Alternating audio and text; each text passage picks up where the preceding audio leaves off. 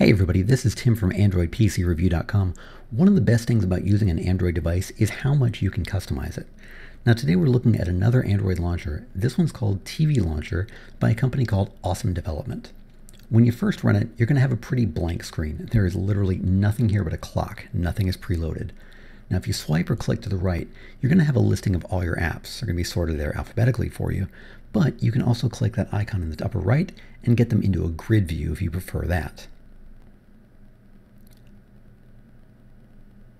So if you switch back to alphabetical, you've also got a sidebar on the right which will let you search to find whichever letter you're looking for.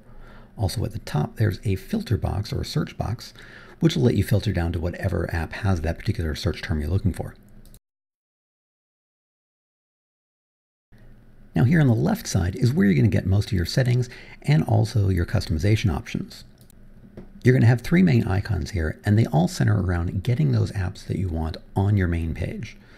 You're going to have add featured apps. Now this is going to be what they consider your most popular, your really go-to apps. Things like Chrome, Facebook, uh, Netflix, XBMC, anything that they consider important that you're going to use on a daily basis.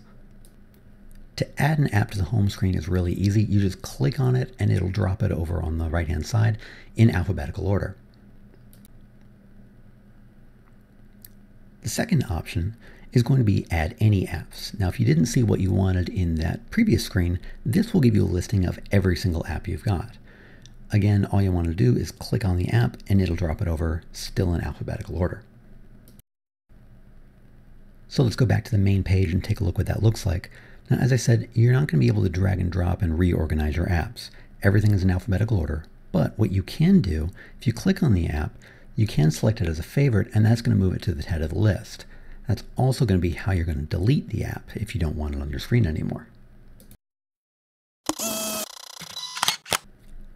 Now the final option is if you want to add a bookmark to a web page. They give you a couple of options there, nothing really major, but the strength is you can add in any custom URL you want. So that way, if you wanted to save a bookmark to, say, your favorite Android review site, you could do that. Just enter in the URL and the page name, and then click create. And it's going to make you hit create one more time. Let's slide the keyboard out of the way, hit create again, and it pops up. Again, still in alphabetical order. Now, one of the things I liked about this is it keeps the size of the icons the same. So if you have more than nine, simply scroll down and you'll find the rest of your apps there. Now back on the left-hand side, all of your customizable options are going to be here under the TV Launcher settings. So quickly going through these settings, the tile label options is if you want to include titles on your icons here on the main page. Most times it's not really necessary and it does kind of clutter up the look a bit. You can also change the opacity.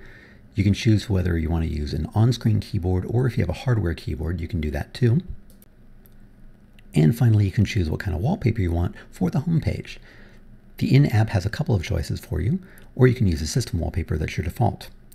And finally, if you have a third-party source, or say you want to use a photo for it, you can use that as well.